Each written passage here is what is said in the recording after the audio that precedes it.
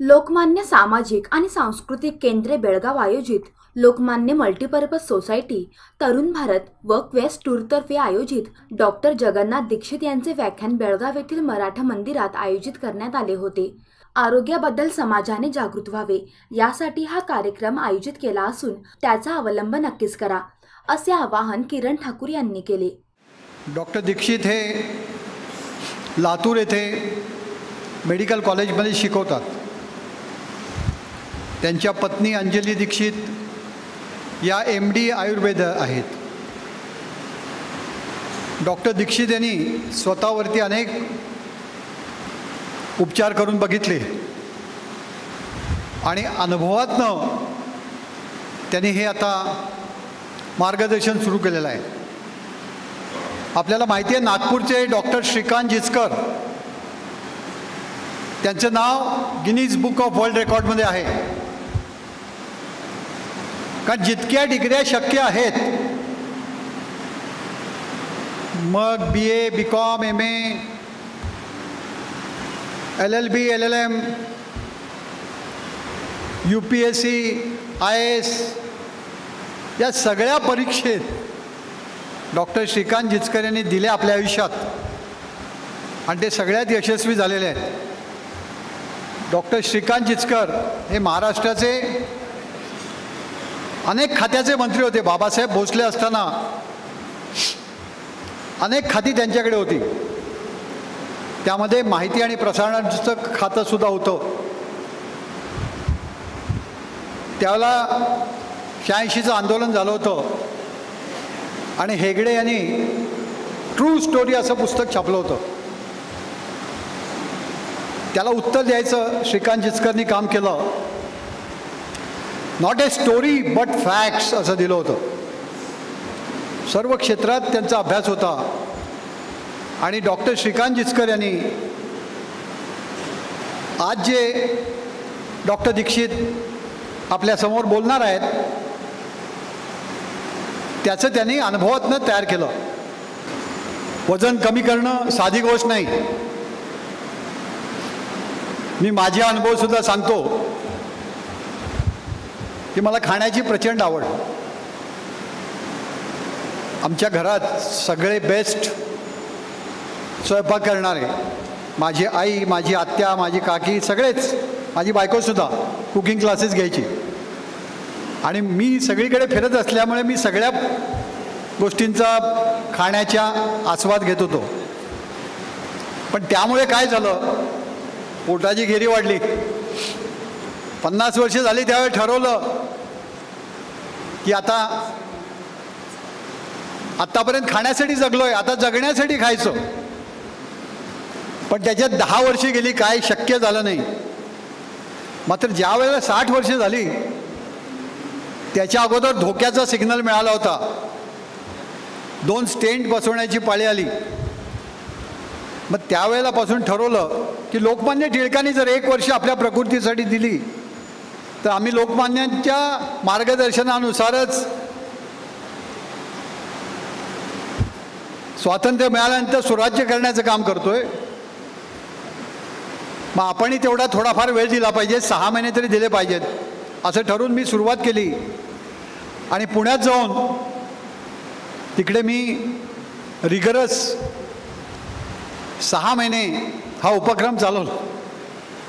त्यामुळे सकाळी सहा किलोमीटर चालत होतो संध्याकाळी चार किलोमीटर चालत होतो. आणि खाण्याचं मोजून अठराशे कॅलरीच्या वरती जायला द्यायचं नाही. डॉक्टर नीता देशपांडे आहेत डॉक्टर वागळे आहेत तिथे डॉक्टर संचेती आहेत अशा अनेक मोठ्यांचं मार्गदर्शन घेतलं डॉक्टरांचं. आणि त्यानुसार डाएट ठरवून जिमला सुद्धा जात होतो संचेतींच्याकडे. आणि असं करून बावीस किलो मी वजन कमी केलं. त्यामुळे आज मी सांगू शकतो की वजन कसं कमी केलं पाहिजे. डॉक्टर आले. ते अधिक सांगतील. पण डॉक्टर वागळे मला म्हणाले अरे तू एवढं केलास तरी तुझं पोटाचं जे वाढलेलं आहे ते कमी होत नाही. तू लिपोसक्शन केलंच पाहिजेस. त्यांच्या आग्रहामुळे लिपोसक्शन केलं. त्याच्यात दहा किलो कमी झालं. म्हणजे बत्तीस किलो कमी करणारा इथे उभा आहे किरण ठाकूर. त्यामुळे तुमची काही लोकांची वजनं वाढलेत. त्यांनी सुद्धा विचार करायला हरकत नाही. आपण प्रमाणाबाहेर खातो आणि त्यामुळे ही वजन वजन वाढतं. तर त्यांच्या व्याख्यानात दोन्ही सांगतात ज्यांचं वजन कमी आहे त्यांनी वजन वाढवावं. आणि ज्यांचं जास्ती आहे त्यांनी कमी करावं. ज्यांना उपयोग होतोय बरं हे सगळं फ्री आहे. ते काही तुमच्याकडनं पैसे घेत नाहीत. फक्त ते काही दोन गोष्टी सांगतात तेवढं करून द्या. त्यांची अनेक ग्रुप्स तयार आहेत. पुण्यामध्ये घेतलं तर स्टेडियमवरतीच त्यांचं व्याख्यान ठेवलं पाहिजे एवढी गर्दी असते. आणि तसे दोन अनुभव मी घेतलेले आहेत. पहिल्यांदा आम्ही प्रभू ज्ञान मंदिरमध्ये केला. आणि नंतर दुसरा बालगंधर्वमध्ये केला. तिथेही पूर्ण भरलं होतं. अगदी लाईन लावून दोन दोन तास लोक थांबले होते सकाळीच.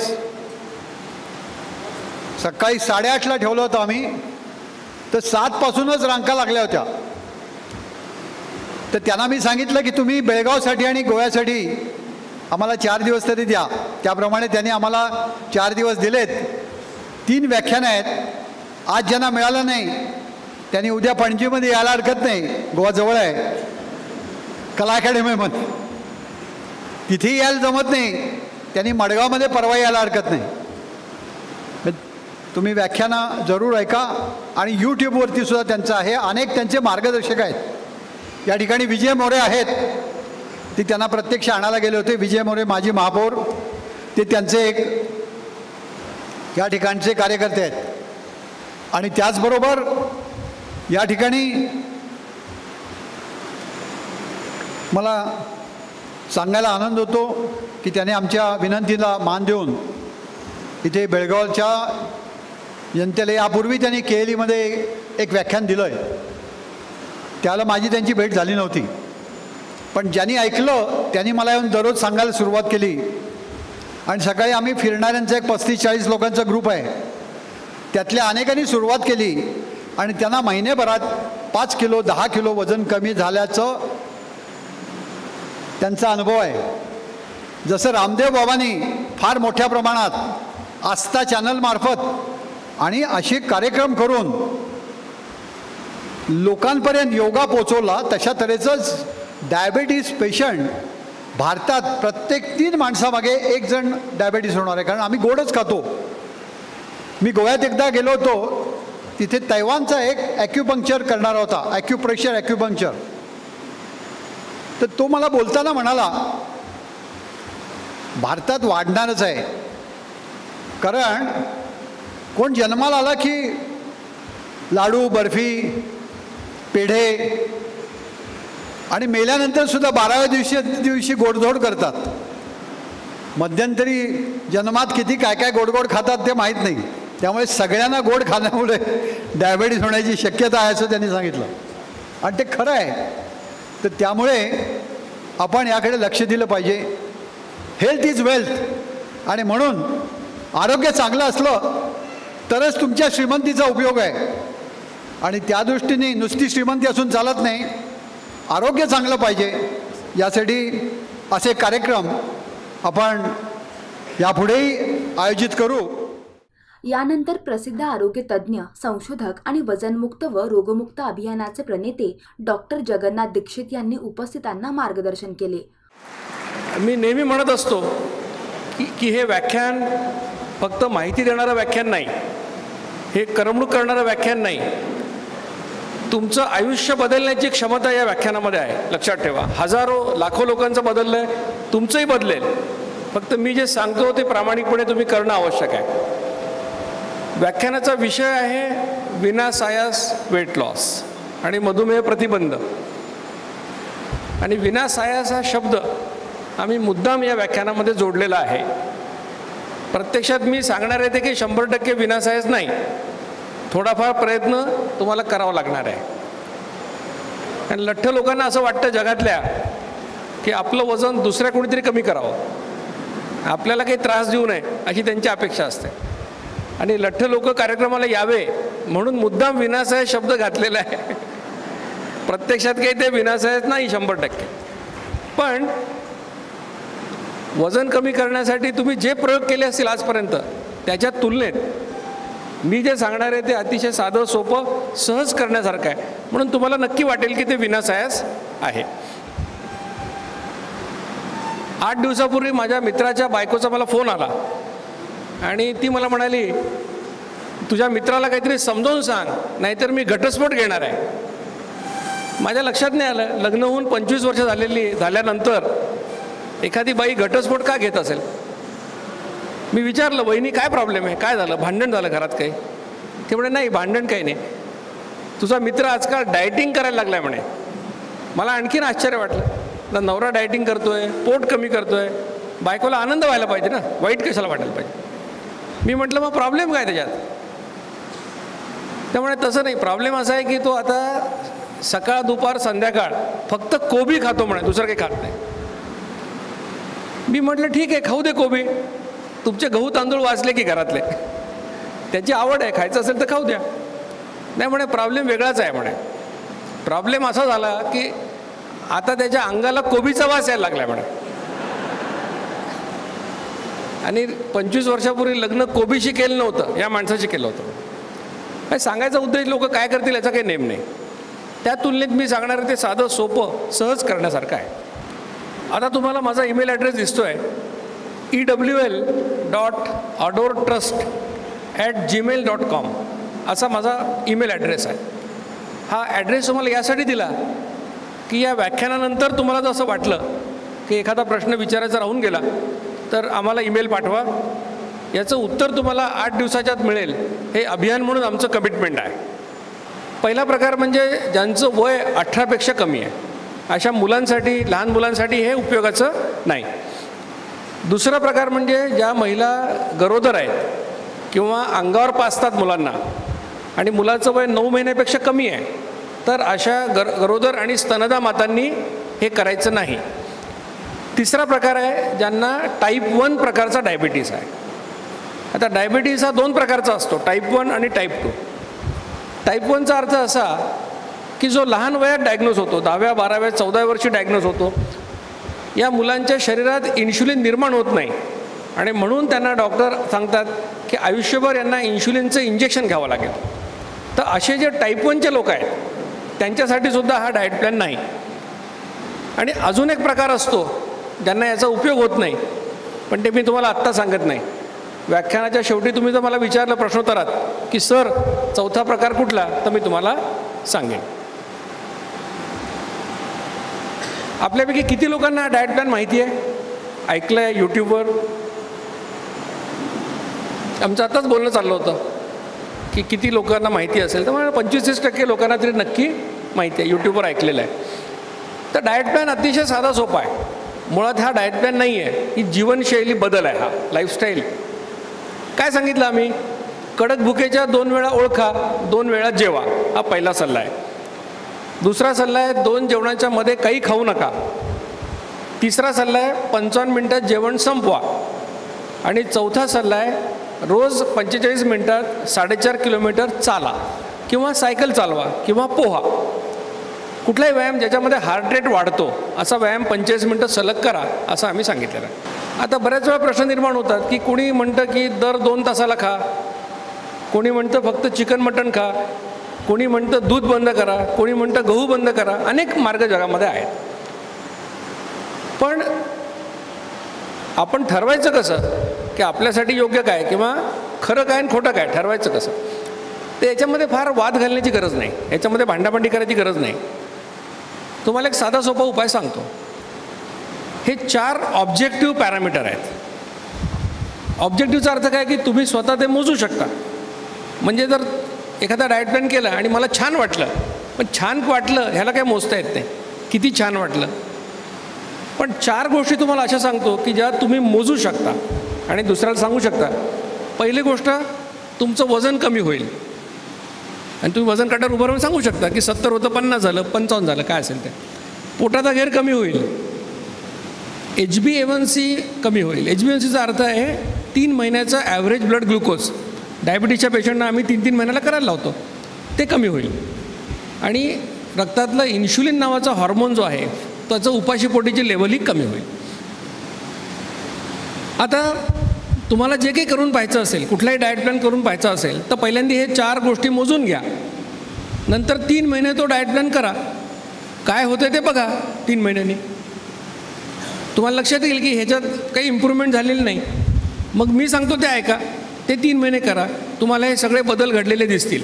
आणि जर असं झालं तर जगातला कुठलाही डॉक्टर असं म्हणू शकत नाही की आरोग्यासाठी वाईट आहे. त्यांना मान्यच करावं लागेल की आता हे चार गोष्टी घडल्या तर हे आरोग्यासाठी चांगलं आहे असं म्हणावं लागेल. आणि मग तुमचा अनुभव आल्यानंतर तुम्ही याच्यावर विश्वास ठेवा आणि मग ती तुमची लाईफस्टाईल बनवा असं आम्ही तुम्हाला सांगितलेलं आहे. त्यामुळे कोण काय म्हणतंय याच्याकडे लक्ष देऊ नका. तुमचा अनुभव हा तुमचा गुरु असायला पाहिजे. कारण तुम्हाला जो फरक दिसला तोच तुमच्यासाठी महत्त्वाचा आहे. आता मी जे सांगतो आहे ही चळवळ एवढी मोठी का वाढली? कशामुळे लोकांपर्यंत पोचली याचं कारण असं आहे की आम्ही तुम्हाला रॉकेट सायन्स सांगत नाही आहे. आम्ही तुम्हाला तेच सांगतो आहे जे तुमच्या पूर्वजांनी केलं. जे वेदामध्ये लिहिलं आहे आयुर्वेदात लिहिलं आहे धर्मात सांगितलं आहे परंपरेत सांगितलं आहे जगावेगळं काही नाही हे तुमचा दैनंदिन अनुभव आहे लक्षात ठेवा. मी जे सांगतो दोनदा जेव्हा हे काही जगावेगळं नाही. आयुर्वेदाने सांगितलं द्वौकाल भुंजित. म्हणजे काय? जेव्हा तुमचा जठराग्नी प्रज्वलित होईल त्या दोन वेळात जेवा असं आयुर्वेदाने सांगितलेलं आहे. जेवणाला आपण यज्ञकर्म म्हटलेलं आहे. उदरभरण नोहे जाणे जे यज्ञकर्म. यज्ञाची उपमा दिलेली आहे. आणि आयुर्वेदात म्हटलेलं आहे की जसं तुम्ही अग्निहोत्र दोनदा पेटवता सूर्योदय आणि सूर्यास्त तसं जठराग्नी पेटला की दोन वेळा जेवा असं आयुर्वेदाने सांगितलेलं आहे. वेदांमध्ये असं लिहिलं आहे की जो माणूस दिवसात दोनदा जेवेल त्याला उपास केल्याचं पुण्य मिळेल. आणि आज तुम्ही सगळं पुण्यासाठीच करता. पुण्य कमवायचा एवढा सोपा मार्ग काय असणार आहे? दोन वेळा जेवा आणि पुण्यच पुण्य कमवा रोज. जैन धर्मामध्ये व्यासना नावाची कल्पना आहे. व्यासनाचा अर्थ आहे बे आसन. म्हणजे दोन वेळा बसा आणि दोन वेळा जेवा असा सल्ला दिलेला आहे. आणि जैन मुनींसाठी माझं व्याख्यान झालं शिरूरला. मला जैन मुनींनी सांगितलं की सर आमच्याकडे जेवायला अठ्ठेचाळीस मिनटं वेळ दिलेला आहे. आम्ही मी म्हटलं आम्ही सात मिनटाचा ग्रेस पिरियड दिलेला आहे. गौतम बुद्धांनी शिष्यांना काय सांगितलं सल्ला? गौतम बुद्ध म्हणतो की तुम्हाला निरोगी राहायचं असेल तर रात्री जेवू नका एकदाच जेवा असं सांगितलेलं आहे. आपल्या संतांनी काय शिकवलं आपल्याला? वर्षानुवर्ष. एकदा जेवतो तो योगी दोनदा जेवतो तो आपल्यासारखा भोगी आणि तीनदा जेवतो तो मोठ्याने सांगा जरा. आणि दहादा जेवता काय म्हणावं तुम्हाला? ज्या समाजामध्ये माहितीचं रूपांतर ज्ञानामध्ये आणि ज्ञानाचं शहाणपणात होत नाही तिथे ही अवस्था आहे ते लक्षात ठेवा. जर तीनदा जेवणारा रोगी असेल तर दहादा जेवणारा महारोगी होईल की नाही? आणि तेच तर घडते सध्या समाजात दुसरं काय घडतं रामायण वाचा महाभारत वाचा कुठलाही ग्रंथ काढून वाचा. त्याच्यामध्ये प्रभू रामचंद्रांनी नाश्ता केला किंवा श्रीकृष्णाने नाश्ता केला असा उल्लेख सापडत नाही. लोक जेवायचे आपल्याकडे. आपल्याकडे जेवणे हीच परंपरा होती. आणि सुदाम्याचे पोहे हे नंतर कुणीतरी घुसडलेले आहेत लक्षात ठेवा. नाही तर विचाराल पोहे कुठनं आले म्हणून. म्हणजे आपल्या परंपरेत हेच आहे. दोनदा जेवणं असंच आहे दुसरं काही नव्हतंच आपल्याकडे. हे सुरू कधी झालं? जेव्हा ब्रिटिश भारतामध्ये आले. त्यांनी काय केलं? चौका चौकात चहा तयार करायचे आणि फुकट वाटायचे. आणि आपल्याकडे चहा नव्हता तेव्हा. आणि फुकट असल्यामुळे आपल्या पूर्वजांनी दोन कप चहा पिला असणार त्यावेळेला. आता पाचशे रुपये किलोने विकत घेतात तोच चहा. मग चहा नव्हता तर बिस्किटं नव्हते खारी नव्हती टोस्ट नव्हतं ब्रेड नव्हतं काही नव्हतं. लोक दोन वेळा जेवायचे ही आपली पद्धत होती. बरं हे जुनं झालं. आता नवीन शास्त्रज्ञ काय म्हणतात बघा? डॉक्टर मॅटसन नावाचा शास्त्रज्ञ आहे. त्याने एक रिसर्च पेपर पब्लिश केला. की किती वेळा खाल्लं आणि कधी खाल्लं तर आरोग्यावर काय परिणाम होतो? काय म्हणतो मॅटसन? मॅटसन म्हणतो जगात सध्या जे प्रचलित आहे. काय प्रचलित आहे? तीन वेळा जेवणे आणि एकदा नाश्ता करणे. मॅटसन म्हणतो उत्क्रांतीच्या दृष्टीने बघितलं तर हे अनैसर्गिक आहे असं मॅटसन म्हणतो. असं का म्हणतो मॅटसन? माणूस जेव्हा पृथ्वीवर आला जन्माला आला तेव्हा आपण जंगलात राहत होतो. सहा लाख वर्ष आपण जंगलात काढलेले आहेत. गेली दहा हजार वर्ष आपण फक्त जंगलाच्या बाहेर आहोत. मग जेव्हा आपण जंगलात होतो तेव्हा काय खायचो आपण? आपल्याला काहीच येत नव्हतं. शेती करता येत नव्हती झाडावर चढता येत नव्हतं काही करता येत नव्हतं. आपण फक्त प्राणी मारून खायचो.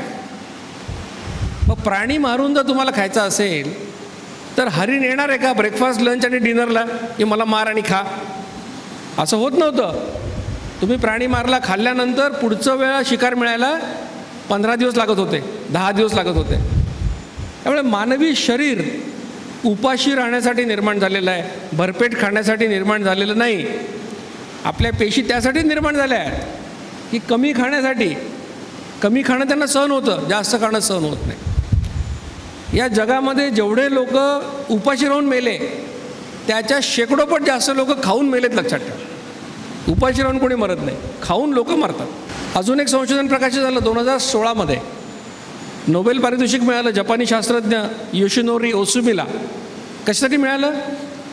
त्याने असा शोध लावला की जर तुम्ही उपाशी राहिलात तर तुमच्या शरीरातल्या चांगल्या पेशी कॅन्सर पेशींना खातात असा शोध लावला. त्याला ऑटोफॅगी असं नाव आहे. म्हणजे जेव्हा तुम्ही दोन वेळा जेवणार तेव्हा तुमच्या दोन जेवणामध्ये चौदा पंधरा तासाचा गॅप पडतो आपोआप उपास घडतो तुम्हाला. म्हणजे आम्ही जो डाएट प्लॅन सांगतोय त्याने तुम्हाला कॅन्सर प्रिव्हेन्शनला पण मदत होणार आहे. म्हणजे लक्षात घ्या. आयुर्वेद तेच सांगतंय वेदांमध्ये तेच सांगितलं आहे गौतम बुद्ध तेच सांगतोय जैन धर्मात तेच सांगितलं आहे मॅटसन तेच म्हणतोय जपानी शास्त्रज्ञ पण तेच म्हणतोय संतांनी पण तेच सांगितलं. मुद्दा एवढाच आहे की आपल्याला हे कधी कळणार आणि कळल्यानंतर कधी वळणार? एकदा आपल्याला हे कळून वळलं की आपल्या आरोग्याचे सगळे प्रश्न जवळपास संपणार हे लक्षात ठेवा. आता सगळ्यात महत्त्वाच्या प्रश्नाकडे येऊ आपण. लठ्ठ कोणाला म्हणायचं? कुणी मान्य करायला तयार नाही. कुणाला म्हटलं तू लठ्ठ झाला पोट सुटलं. तो म्हणतो मी खात्यापित्या घरचा आहे. आपल्याकडे खात्यापित्या घरचं म्हणजे पोट असायला पाहिजे.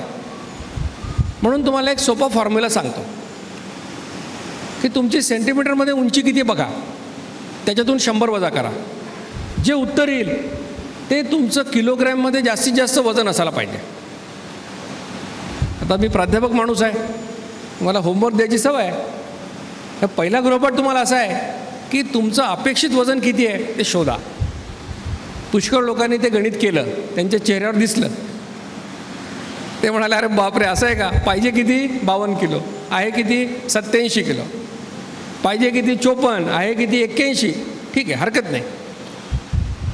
लक्षात घ्या की आपलं वजन जास्त हे मान्य करणं आणि किती कमी करायचं हे टार्गेट मिळणं हा वजन कमी करण्याच्या प्रवासातला महत्त्वाचा टप्पा आहे. तो तुम्ही आता गाठला हे लक्षात घ्या. व्याख्यानाला येताना तुम्ही जर पहिल्या वर्गात होते तर आता दुसऱ्या वर्गात तुम्ही गेलेल्या. कारण आता दुसऱ्यांनी म्हणायची गरज नाही की तुम्ही लठ्ठ आहे.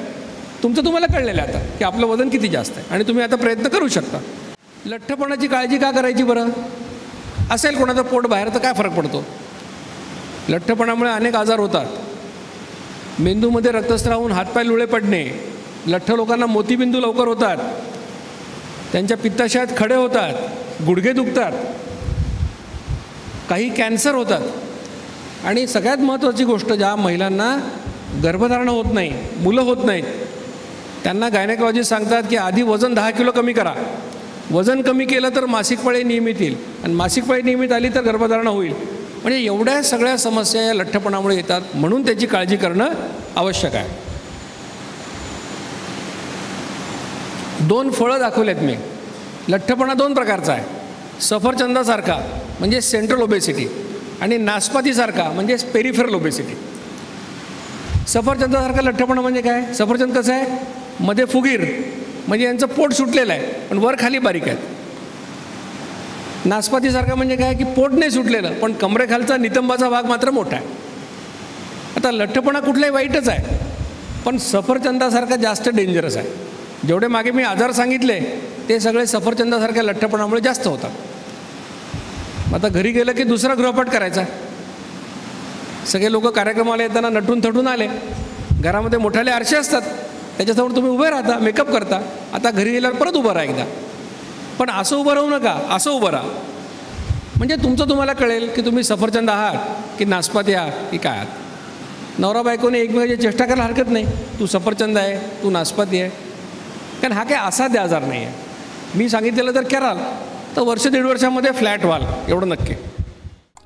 स्वप्नपूर्तीकडे पुढचे पाऊल महिला उन्नती ठेव योजना मिळवा दहा पूर्णांक पाच टक्के साठ वर्षावरील ज्येष्ठ महिलांसाठी शून्य पूर्णांक पाच टक्के जास्त त्वरा करा सदर योजना दिनांक तीस एप्रिल दोन हजार एकोणीस पर्यंत उपलब्ध ठेवीचा कालावधी पंधरा महिने. अधिक माहितीसाठी आपल्या नजीकच्या लोकमान्य सोसायटीच्या शाखेशी संपर्क साधा. Lokmanya multipurpose cooperative society limited. दोनशे सतरापेक्षा अधिक शाखांसह महाराष्ट्र गोवा कर्नाटक आणि दिल्लीमध्ये कार्यरत. आपण लठ्ठ का बरं होतो याचे अनेक कारण आहेत. पुरुषांमध्ये वयाचं एकोणतीस ते चौतीस ही पाच वर्ष त्यांचं वजन वाढतं. महिलांमध्ये पंचेचाळीस ते एकोणपन्नास मेनोपॉझल एजमध्ये वजन वाढतं. महिलांमध्ये वजन वाढण्याची प्रवृत्ती पुरुषांपेक्षा जास्त असते. आईवडिलांमुळे पण काही लोकांना लठ्ठपणा येतो. त्याचा गैरफायदा लोक असा घेतात कोणाला म्हटलं तू लठ्ठ आहे? तो म्हणतो माझी आई लठ्ठ वडील लठ्ठ आजी लठ्ठ आजोबा लठ्ठ जशी प्रॉपर्टी ठेवून गेले तसं हे पण देऊन गेले. पण शंभर लठ्ठ लोकांचा अभ्यास केला तर काय लक्षात येतं आपल्या? की फक्त एक दोन लोक असे आहेत की ज्यांना आईवडिलांमुळे मिळाला. बाकी अठ्ठ्याण्णव टक्के लोकांनी तो कमावलेला आहे. आईवडिलांना ब्लेम करायचं फारसं कारण नाही. शारीरिक श्रमांचा अभाव. कष्टच राहिलेले नाहीत. लोक पायी चालत नाहीत सायकल चालवत नाहीत व्यायाम करत नाहीत. आणि खाण्याच्या सवयी जुन्याच राहिलेल्या आहेत. खातात भरपूर कष्ट करत नाहीत. साहजिकच बँक बॅलन्स वाढत जातो अंगावर चरबीचा. सामाजिक आर्थिक स्थिती तुमचं जेव्हा आर्थिक परिस्थिती सुधारते तेव्हा माणसं चांगलं चुंगलं खायला लागतात. म्हणजे काय? गोडधोड मिठाया तेल तूप साखर. मग ते सगळं जास्तीचं कॅलरीज खाऊन वजन वाढतं. खाण्याच्या तुमच्या सवयी कशा आहेत याच्यावर पण अवलंबून असतं. जिचकारणी म्हणायचे की माणसं मारण्याच्या दोन पद्धती आपल्याकडे आहेत. एक पद्धत म्हणजे म्हणायचे मेळघाट पॅटर्न म्हणजे उपाशी ठेवून मारायचं. आणि दुसरी पद्धत म्हणजे आघोरी आग्रह करून मारायचं. बरं आग्रह कोणी कोणाला करायचा? दोन डायबिटीजचे पेशंट एकमेकाला आग्रह करतात. लग्नाच्या पंक्तीत शेजारी शेजारी बसतात. यांना बघितलं की तो जिलबी वाटणारा मुलगा तसाच परत फिरतो. त्याला माहिती असतं यांना डायबिटीस आहे. मग यातला एक जण त्याला बोलवतो आणि सांगतो की यांना चार वाढ. आणि मग हा म्हणतो यांना दोन वाढा. आणि दोघं तीन तीन वाटून खातात.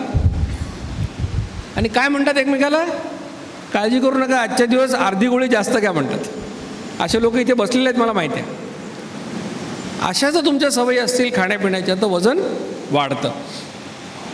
काही हॉर्मोन्समुळे वजन वाढतं. दारू पिल्यामुळे वजन वाढतं. म्हणजे नुसते दारू पिले तर वजन नाही वाढत. पण दारू पिऊन मोठं मोठा कार्यक्रम लोक करतात दोन तीन तासाचा.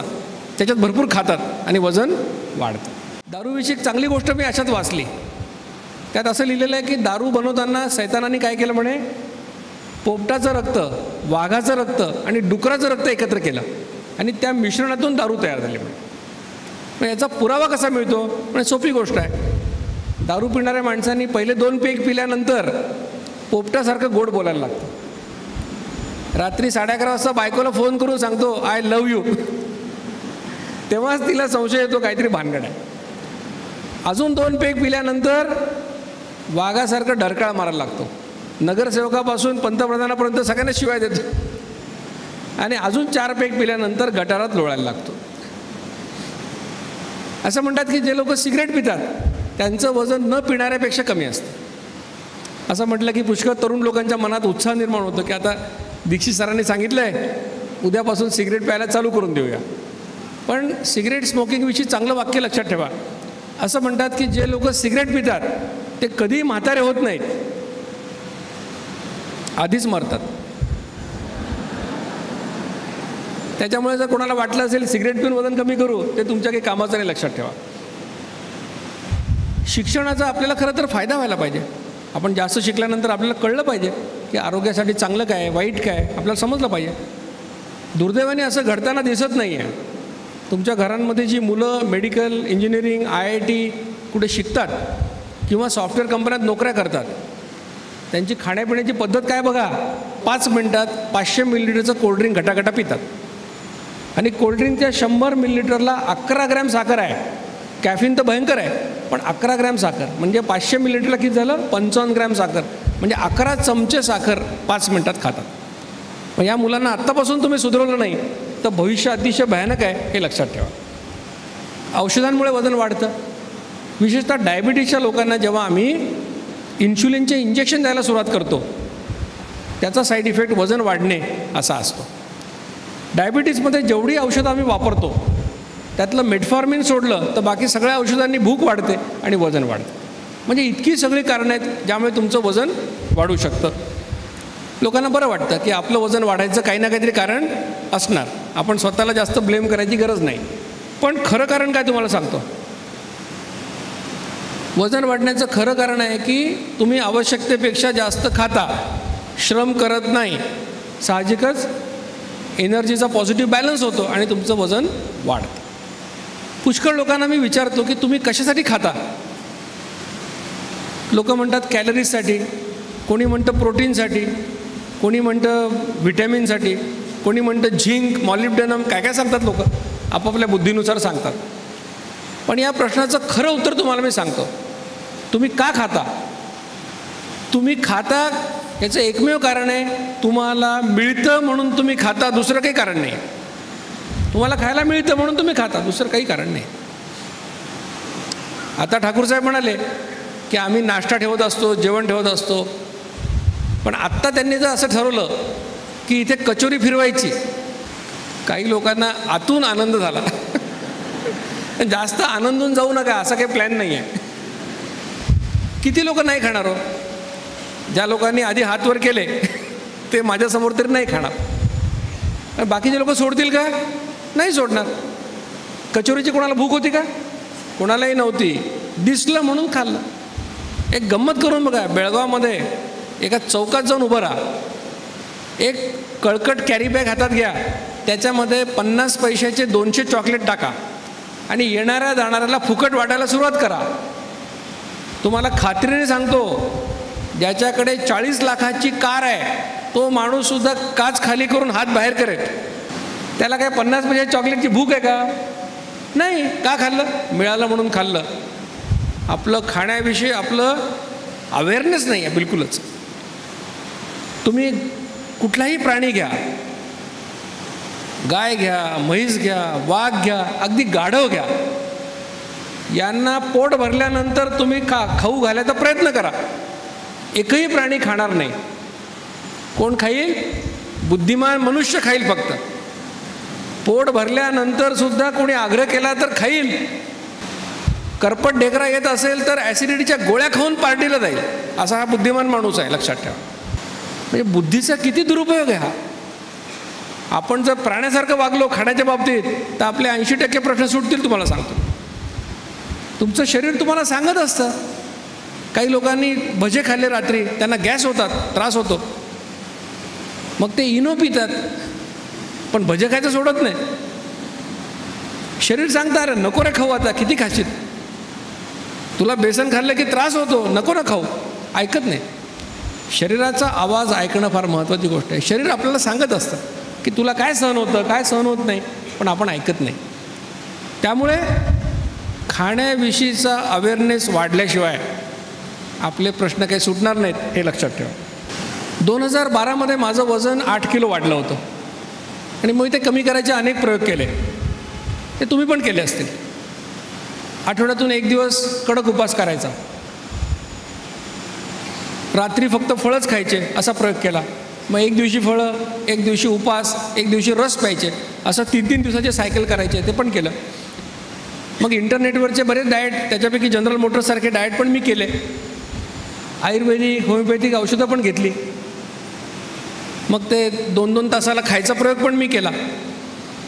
सगळे प्रयोग केले. पण सगळ्या प्रयोगांचा निष्कर्ष काय होता माझा? एक तर प्रयोग करतानाच वजन वाढायचं.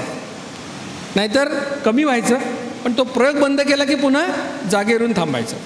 ज्यांनी ज्यांनी प्रयत्न केला वजन कमी करायचा सगळ्यांचा अनुभव असाच आहे का? की कायमस्वरूपी वजन कमी होत नाही. अगदी लायपोसक्शन आणि बॅरेटरी सर्जरी केलेले लोकसुद्धा पाच वर्षांनी तसेच अस होतात जसे पूर्वी असतात तसे. हे जगातलं सत्य आहे. किती लोकांनी वजन कमी करायचा प्रयत्न केला तर हातवर करा. बऱ्याच लोकांनी केला. ज्या लोकांनी हातवर केला नाही त्यांचा वजनामुळे झाला नाही असं मी समजतो. नाही तर आलेच कशाला असते इथे? इथे कामच काय दुसरं? डायबिटीज आणि वेट लॉस दुसरं काय काम? म्हणजे कुठलाही डाएट प्लॅन हा सक्सेसफुल होत नाही. कायमस्वरूपी फायदा होत नाही. का बरं? काही डाएट प्लॅन तुम्हाला उपाशी ठेवतात. काहीतरी ट्रिक करून तुम्हाला सांगतात की आमची पावडर खा आणि मग दुपारी जेवा. मग इफेक्टिव्हली तुमचं एक जेवण बंद होतं. आणि जेव्हा तुम्ही मग घरातल्यासारखं बाकीच्यांचं खायला लागतं सगळं व्यवस्थित तर मग वजन पुन्हा वाढतं. कारण उपासमारीने तुम्ही वजन कमी केलेलं असतं. काही डाएट प्लॅन एवढे अवघड असतात की तुम्हाला एक गोष्ट काश्मीरहून आणायला सांगतात एक केरळहून आणायला सांगतात एक गुजरातहून आणायला सांगतात. ते तुम्हाला जमवाजमीच करता येत नाही. फार अवघड असतं. काही डाएट प्लॅन खूप महागडे असतात. मुंबईमध्ये दोन दोन लाख रुपये घेतात एका कन्सल्टेशनचे मग मुंबईला गेलं दोन लाख रुपये खर्च केले आणि वजन कमी नाही झालं तर बेळगावमध्ये कुठल्या तोंडाने सांगणार? मी एवढा मूर्ख आहे. हे दोन लाख घातले आणि काहीच झालं नाही. काही डाएट प्लॅनमध्ये सारखं गायडन्स घ्यावं लागतं. आधी ऑनलाईन पेमेंट करायचं. पेमेंट केलं की मॅडम तुम्हाला रोज रात्री उद्याचा डाएट प्लॅन पाठवतात ईमेलवर. मग त्याचा प्रिंट काढायचा. त्यात दिलेलं असतं सकाळी पाचला काय ब्लॅक कॉफी आठला काय असं दिलेलं असतं सगळं हे पण चालतं व्यवस्थित. आणि वजन कमी करण्याचा माणूस काही करायला तयार असतो. असं महिना दोन महिने चालतं. वजनही कमी होतं एक दोन किलो. कारण ते तुम्हाला थोडं थोडं खायला दिलेलं असतं. प्रॉब्लेम केव्हा येतो की तुमचा मित्र येतो अमेरिकेहून. त्यांनी चॉकलेट आणलेले असतात. तो तुम्हाला म्हणतो हे तुझ्यासाठी चॉकलेट आणले. हे खाऊन बघ म्हणतो. छान आहे. मग तुम्ही ते चॉकलेट हातामध्ये घेता आणि मॅडमना फोन करता की खाऊ का? मॅडम म्हणतात आत्ता चॉकलेटची वेळ नाही आहे black coffee with coconut oil त्याची वेळ आहे म्हणजे तुम्हाला लक्षात येतं की आपण कोणाचे तरी गुलाम झालेलो आहोत. आपल्याला साधं चॉकलेट खायचं पण स्वातंत्र्य नाही. मग असा डाएट प्लॅन फसतो. काही डाएट प्लॅन असे असतात की जे नॉनव्हेज खाणारे लोक आहेत त्यांना म्हणतात उद्यापासून फक्त मेथी आणि पालकच खायचा. आणि जे लोक व्हेजिटेरियन असतात त्यांना सांगतात ब्रेकफास्टला चिकन लंचला मटन आणि डिनरला फिश का म्हणतात. असा डाएट प्लॅन तुम्ही किती दिवस करणार? पंधरा दिवस एक महिना करता लोक. पण तो जास्त दिवस करता येत नाही. मग अनेक कारणांमुळे डाएट प्लॅन फसतात. पण खरं कारण लक्षात घ्या. डाएट प्लॅन का फसतात? याचं खरं कारण असं आहे की तुम्हाला असं वाटतं की आपलं वजन दीक्षित कमी करणार आहे. तुमच्या वजनाची जबाबदारी तुम्ही घ्यायला तयार नाही तुम्ही दुसऱ्यावरती जबाबदारी टाकायला पाहता. ज्या समाजामध्ये वस्तू विकत घेणारे मूर्ख उपलब्ध आहेत त्या समाजामध्ये विकणारे शहाणे असणार हे लक्षात ठेवा. कोणी तुम्हाला पट्टे विकेल कोणी तुम्हाला मशीन विकेल कोणी पावडर विकेल आणि तुमचे पैसे लुबाडतील. ते लुबाडत नाहीत. तुम्ही लुबाडून घेता स्वतःला लक्षात ठेवा. कारण तुम्हाला काही करायची इच्छा नाही आहे तुम्हाला शॉर्टकट पाहिजे आहे. म्हणून हा प्रॉब्लेम आहे. चित्र दिसते का सगळ्यांना? मला असं शेवटी वाटायला लागलं की वजन कमी करण्याचा बहुतेक एवढाच एक मार्ग असणार. आता सगळ्यांना हसू आलं. हे काय मूर्खपणाची गोष्ट आहे. पण मग हे काय? याला आम्ही म्हणतो लायपोसक्शन किंवा बॅरेटिक सर्जरी लायपोसक्शन म्हणजे काय? तुमच्या पोटात आम्ही पाईप घालतो आणि चरबी काढतो. एका लिटरला दहा हजार वीस हजार असा रेट असतो. काही लोक मरतात सुद्धा ऑपरेशनमध्ये काही लोकांचं आम्ही बॅरेट्रिक सर्जरी करतो. म्हणजे काय? तुम्ही अन्न खाल्ल्यानंतर ज्या पिशवीत जातं त्याला जठर किंवा स्टमक असं म्हणतात. तुमची त्याची कॅपॅसिटी असते वीस पोळ्यांची. तुम्ही खाऊन खाऊन कमावलेली असते. आणि तुमचा तोंडावर कंट्रोल नसतो. मग आम्ही काय करतो? तुमचं जठर कापून टाकतो. मग काय होतं? तुमची कॅपॅसिटी उरते तीन पोळ्यांची. म्हणजे कितीही खावंसं वाटलं तर तीन पोळ्याच्यावर खाताच येत नाही. आणि तेवढी कॅपॅसिटीच राहिलेली नाही. काही लोकांचा आम्ही बायपास करतो. म्हणजे काय? अन्न जर जठरातून लहान आतड्यात गेलं तर ते पसतं आणि अंगी लागतं. मग आम्ही काय करतो? त्याला लहान आतड्यात जाऊच द्यायचं नाही डायरेक्टली मोठ्या आतड्यात पाठवायचं. म्हणजे काय? असं खायचं आणि तसं बायपास असं वजन कमी करायचं कोणाला वाटेल का? कोणाला वाटणार नाही. त्यामुळे हे चित्र आणि हे चित्र याच्यामध्ये गुणात्मकदृष्ट्या फरक नाही हे लक्षात ठेवा. गुणात्मक फरक नाही आहे दोन्हीमध्ये त्यावेळेपासून मी विचार करत होतो की कुठला डाएट प्लॅन सक्सेसफुल होईल? कुठल्या डाएट प्लॅनला यश मिळेल? मग कुठले गुणधर्म असायला हवे त्याच्यात? पहिली गोष्ट फुकट असायला पाहिजे बरोबर? कारण आयुष्यभर काही कोणी पैसे नाही खर्च करणार वजन कमी करण्यासाठी. दुसरी गोष्ट डॉक्टर लागू नये एक्सपर्ट लागू नये. एक्सपर्ट आला की एक्सपर्टाईज आलं एक्सपर्टाईज आलं की फी आली. कुठलंही मशीन विकत आणावं लागू नये. आपल्यापैकी बऱ्याच लोकांनी घरात काय बाहेर चालायला वेळ नसतो म्हणून घरी मशीन आणले असतील जॉगिंग जॉगर आणलेत की नाही काही लोकांनी? मग महिला दीड महिना दोन महिने सगळ्या मित्रांना बोलवून कौतुक दाखवतात. हे बघा आम्ही कसं चालतो काय करतो त्याच्या सेल्फी टाकतात व्हिडिओ टाकतात. त्यांच्या घरी तुम्ही दोन महिन्यांनी जा. त्याच्यावर कपडे वाळत घातलेले असतात. जॉगिंग मशीनचा तेवढाच उपयोग होतो नंतर. का बरं? त्याचा पट्टा खराब होतो त्याचं फ्रिक्शन होतं मेंटेनन्स होत नाही. म्हणून मशीन लागू नाही कुठलाच. कोणतीही पावडर न्यूट्रिशनल पावडर विकत बाजारातून आणायची गरज पडू नये. आणि सगळ्यात महत्त्वाची गोष्ट काय? आयुष्यभर आनंदाने करता आलं पाहिजे. नाहीतर लोक पिझ्झा खातात आणि तुम्ही तोंडाकडे पाहता. आणि मग काय करता? रात्री सगळे झोपले की फ्रीजमधून काढून खाता. मन मारायची गरज पडू नये. आयुष्यभर आनंदाने करता यावं. असे गुणधर्म जर कुठल्या डाएट प्लॅनमध्ये असतील तर तो डाएट प्लॅन न राहता लाईफस्टाईल होऊन जाईल. आणि काय यशस्वी होईल? तर लाईफस्टाईल होईल. डाएट प्लॅन होणार नाही. अशा एखाद्या लाईफस्टाईलच्या मी शोधामध्ये होतो. आणि सुदैवाने माझ्या एका मित्राने मला त्यावेळेला डॉक्टर जिचकरांचं एक व्याख्यान आणून दिलं यूट्यूबवर ते व्याख्यान आज पण यूट्यूबवर आहे. तुम्ही जर नागपूर फिटनेस मुवमेंट किंवा पुणे फिटनेस मुवमेंट असे शब्द टाकले तुम्हाला ते व्याख्यान मिळेल. त्या व्याख्यानामध्ये त्या व्याख्यानाकडे जायच्या आधी कारण आता तुम्ही माझं ऐकलं आहे तुम्ही आता जिचकरांचं पण ऐकाल कदाचित यूट्यूबवर जाऊन. म्हणून तुम्हाला एक सूचना सांगतो महत्त्वाची ती अशी की डॉक्टर जिचकरांचं व्याख्यान आज ऐकायचं कशासाठी? त्यातून प्रेरणा घेण्यासाठी ऐकायचं. टेक्निकल डिटेल जे आहेत ते मी सांगतो ते ऐकायचं. कारण जिचकरांनी सांगितलं सत्त्याण्णव अठ्ठ्याण्णव नव्याण्णवमध्ये सांगितलं. मी एक दोन हजार एकोणीसमध्ये सांगतो त्यांनी जे जे सांगितलं ते सगळे आम्ही प्रयोग करून पाहिले. त्याच्यातलं जे सिद्ध झालं तेवढंच आम्ही तुम्हाला सांगतो त्यामुळे जेव्हा केव्हा असं होईल की जिचकार एक गोष्ट म्हणतात आणि मी एक गोष्ट म्हणतो आहे तेव्हा मी सांगतो ते ऐका ते तुमच्या फायद्याचं आहे. पण जिचकारांचं ऐकायचं कशासाठी? प्रेरणा घेण्यासाठी ऐकायचं. ते व्याख्यान मी ऐकलं. त्या व्याख्यानात जिचकारांनी एक साधा सोपा सल्ला दिला जो मी तुम्हाला देणार आहे. जिचकरांनी सांगितलं की तुम्हाला जर निरोगी राहायचं असेल तर दिवसात दोन वेळात जेवा. इतर वेळा तोंड उघडायचं तर बोलण्यासाठी नाही तर पाणी पिण्यासाठी. एवढा साधा सोपा सल्ला दिला. मला काही तो पटला नाही. तुम्हाला बऱ्याच लोकांना पटणार नाही. मी ते व्याख्यान पाच सहा वेळा ऐकलं. मी म्हटलं जिचकार असं म्हणतात का? कमी खा असं म्हणत नाही.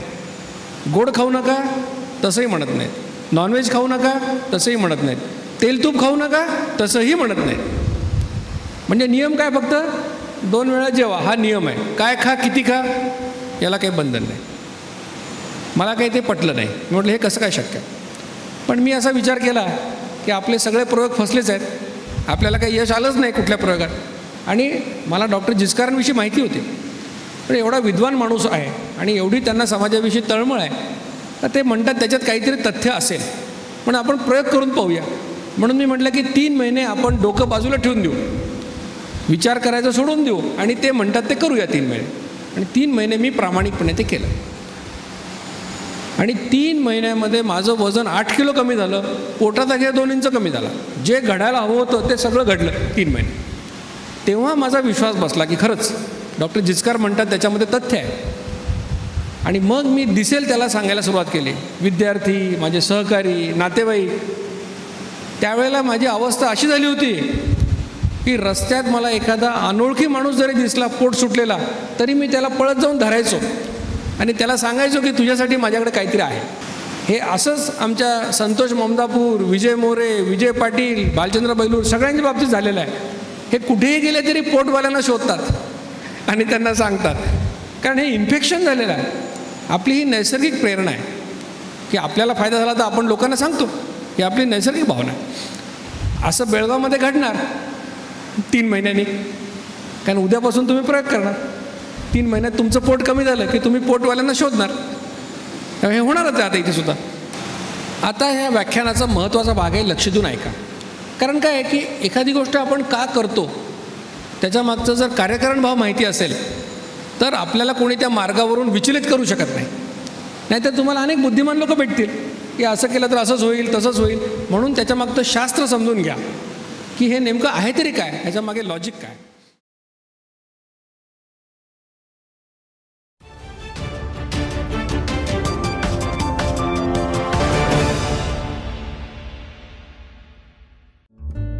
सबस्क्राईब करा Tarun Bharat daily Belgaum news channel आणि ताज्या घडामोडी पाहण्यासाठी बेल आयकॉनवर क्लिक करा.